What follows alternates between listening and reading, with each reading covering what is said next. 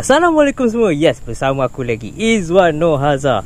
Okay untuk video kali ini Nak bercerita pasal motor yang ada depan aku ni Motor XDV 250i daripada W Motor. Jom kita tengok spek dia Kita tengok dia punya keistimewaan Dia punya features yang menarik Apa kelebihan Apa yang best sangat tentang motor ni kan.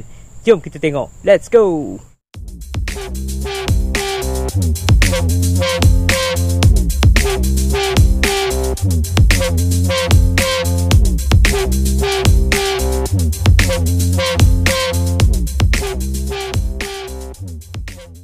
Color yang aku test ni adalah color biru. Okey, jom kita pergi kepada enjin dahulu. So, enjin untuk motor ni menggunakan 4-stroke single cylinder uh, 4 injap. So, menggunakan SOHC eh S-O-H-C Bukan DOS eh. CC yang dibekalkan adalah 244cc So, dia declare 250 lah sebab dia 244 kan. And then menggunakan uh, penyejuk cecair ataupun coolant. So, coolant dia dekat sini kan? Sini untuk bahagian sistem coolant dia akan pergi kepada radiator dekat bahagian depan. So radiator dia dekat sini nampak tu? Ha tu? Ha ni radiator dia lah. Untuk motor ini dikatakan dapat menjana sebanyak 24.8 horsepower. Ha agak not bad jugalah untuk sebuah skuter yang bersisi 250 kan? Untuk transmisi biasalah dia menggunakan V-belt. So V-belt and then dekat sini untuk tuang punya hitam servis dia sini air filter dalam ni boleh nampak kot. Ada throttle body and then starter. Boleh nampak block dia dekat situ. Kan tayar belakang menggunakan saiz 130 70 13 okay and then ada ni ada brake disc and then ada ABS ha, dua channel ABS eh. So kalau tengok sini ada ABS punya nampak ni ni untuk ABS okay saiz dia 13 So saiz belakang 130 70 13 menggunakan tayar dari CT CST. Aku tak tahu brand mana. tayar depan menggunakan saiz 110 70 13. So untuk motor ni menggunakan uh, rim bersaiz 13. So depan 110, belakang 130. Okey, untuk bahagian depan juga menggunakan disc brake berserta dengan dua channel ABS uh, brake caliper uh, dua port so ada dua port kat sini. Untuk bahagian suspension depan dia menggunakan upside down fork. Ha nampak tu. Nampak ala-ala SBK bai nampak tu. Dua shock daripada Kayaba depan Kayaba belakang pun Kayaba juga tau. Untuk bahagian belakang ni boleh adjust. Nampak sini? So boleh adjust untuk kiri kanan dia Untuk tinggi rendah. Untuk paparan meter dia Aku tak pastilah korang boleh nampak ke tak. Tapi kita try buka lah. So kat sini ada temperature enjin temperature uh, cuaca dia sekarang kilometer minyak RPM odometer jam. And then ada ni eh. Ha, kat atas ni tak tahu korang nampak ke tak? Dia ada bar 2.1 bar dengan 2.2 bar. Ini untuk tayar pressure tau.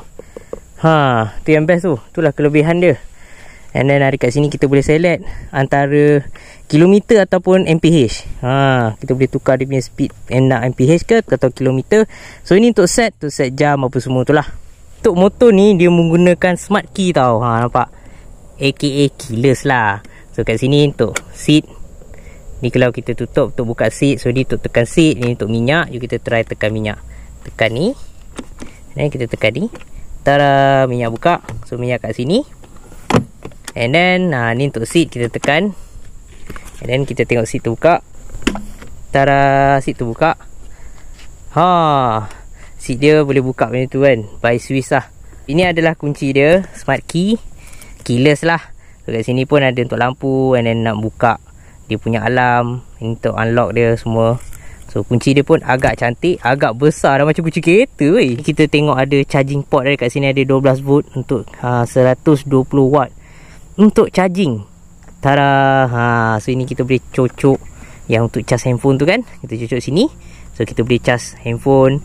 Kita boleh cas kita punya alat GPS Ni dia ada satu kompartmen tau Kat bahagian tepi ni. Ha, Ni kita untuk, untuk kita letak phone ke Kita buka kan? Buka and then dekat bahagian dalam ni Alamak nampak tak? Ha, Nampak lah. Bahagian dalam ni kita boleh ada USB port tau Ha tu. Awak nampak ke tak? Alamak. Kat sini kita boleh cas telefon Cocok wire untuk cas telefon. And then telefon boleh simpan kat bahagian dalam ni lah Kompartmen tepi ni. Agak dalam juga ah. So ni untuk sebelah sini Sebelah kiri tau. Belah kanan pun ada untuk. Tapi ni tak ada kompartmen lah Sebab bila aku buka Sini ada coolant. Ha, Sini kita boleh isi coolant. Aku dah tukar tempat. So kejap aku belanja korang lampu dia eh. Main lamp dia dan juga dia punya daylight Punya lamp pun LED And then kat bawah tu ada spotlight eh. Kiri kanan ada dua spotlight Itu kelebihan dia. Ada spotlight guys. Dah siap dengan spotlight. So tak perlu nak tambah aksesori lain Untuk spotlight apa semua. And then bahagian belakang juga kita tengok. Pun sama LED juga. Signal LED dan juga lampu belakang pun LED Cantik cantik cantik. Oh dia punya tangki minyak ni 13.5 liter. Seriously besar So nak buka dia tadi tekan ni and then tekan ni. Ha. Buka. Ni kita boleh isi minyak. 13.5 liter bro. Bapak besar. RM1 lah. Aku pun tak tahu. Sebab aku tak isi minyak di motor ni. And then kan Alah tapi tak tahu. Kau orang tak nampak kot.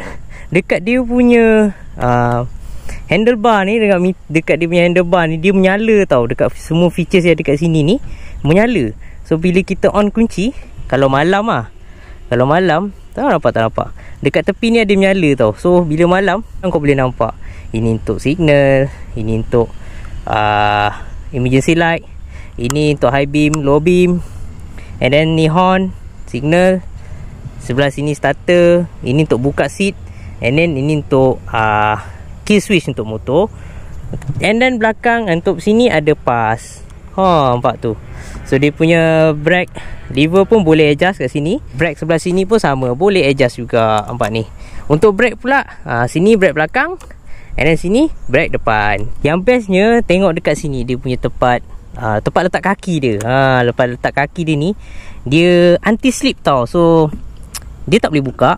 Oh ada boleh Boleh kat boleh kat Ada part yang boleh buka Ada part yang tak boleh buka. So dia menggunakan aluminium. So anti-slip So bila kita waktu hujan ke Ataupun licin ke apa Kasut licin ke kita pijak Dia tak slip tau.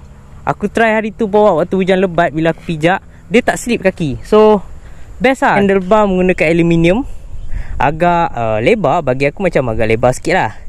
Tapi padan lah kot dengan motor ni macam ala-ala adventure kan. Aku try menyelit hari tu Berjalan jam. So far okay tak ada masalah lah. Tak adalah macam nak terkena side mirror kereta ke apa tak ada Walaupun dia agak panjang sedikit Tapi okey. Untuk bawah seat ni ada biasalah Dia ada bonnet kan? So untuk bonnet dia ni Bila buka Dia boleh memuatkan sebanyak 26 liter bro. Serius besar. Setakat bag laptop Ataupun full face Seketul muat Tak ada masalah. Pun kalau setakat nak letak beras 10 kilo pun Aku rasa muat ni. Dan seat dia Kalau tengok uh, Selesa Lebar Untuk bahagian pemandu pun Lebar Untuk bahagian pilion pun lebar tak, Okey. Dan juga lembut. Keselesaan tu penting eh sebenarnya. Untuk bahagian ni uh, Pilion punya uh, Aluminium eh. Ya, Ada crash bar tau. Skuter jarang tau ada benda ni. Dia ada siapkan crash bar. So Dia dah fikir siap-siap Untuk motor adventure And then Peratusan untuk jatuh Kalau kita main Kalau kita jalan-jalan Tempat yang agak licin tu. So bila jatuh Dia dah siap ada protection. Bersambung terus dengan body eh. Jadi dia bila jatuh tu Risiko untuk kena cover set Tu agak kurang sedikit lah. Punya windshield ni? Ha, windshield ni biasalah. Windshield untuk motor-motor adventure ni selalunya boleh adjust. Ha, untuk yang ini uh, boleh adjust ketinggian ni sebanyak 3 3 step, satu step, dua step, tiga step. So yang ini step yang ketiga tau. Dia memang tinggi lah. Okey, nak adjust, nak adjust dia punya ketinggian untuk uh, windshield ni. So kena tarik kiri dan kanan ni and then turunkan. Ha. So ni paling rendah ah. Ni paling rendah. And then kau boleh naikkan. Macam mana naikkan? Okay Ni nombor 2 Step nombor 2 And then yang paling tinggi Sarah Okay ni paling tinggi lah So far yang cantik adalah yang paling tinggi ni lah. Nampak lagi smart. Dia ada satu lagi X Project. Ha, X Project tu dia uh, Full accessory lah senang cerita dah Dia memang adventure untuk full accessories tau. Yang aku punya ni standard version. Kalau ambil yang X Project punya ha, apa apa yang lagi advance daripada standard version ni? So dia punya windshield. First dia punya windshield untuk X Project lagi tinggi ha, Sampai sini bro Untuk standard dia menggunakan uh, alloy rim macam ni Sport rim lah Senang cerita cakap sport rim lah So kalau untuk X version dia menggunakan uh, rim jejari atau rim-rim senang cerita orang kampung cakap rim lidi. Lagi cantik, lagi smart. Untuk X Project dia datangkan sekali dengan side box dan juga top box tau. Serius kau dah tak payah beli apa accessories lagi dah Untuk X Project lah Itulah dia kelebihan Itulah dia keistimewaan Itulah dia feature-features yang menarik Spek yang menarik Yang ada pada XDV 250 Hari dah nak hujan dah Nampak tu dah gelap Aduh Aku terpaksa tamatkan video dekat sini saja. So untuk video kali ni Aku cerita spek saja. Ada lupa pula Exhaust ada dua lubang eh. Okay lah guys Aku rasa video tamat dekat sini saja. Video pusing-pusing tengok motor Tengok spek Tengok keistimewaan tengok feature-feature yang menarik dekat ada apa yang ada dekat motor XDV ni. So aku dah dah gerak ni sebab hari dah gelap, hari nak hujan ni kan, hujan basah aku. So untuk video test uh, on board nanti aku akan buat mungkin uh, lepas video ni lah kot. Sebab aku tak sempat buat hari ni sebab aku ada kerja lain. Kalau kau suka video ni kau boleh buat thumbs up macam ni. Aku cuba dapatkan 250 like untuk video ni guys. Sebenarnya jangan korang komen boleh komen kat bawah nanti aku baca satu-satu. Okay, jumpa lagi. Bye bye. Assalamualaikum. Bye. Jumpa lagi.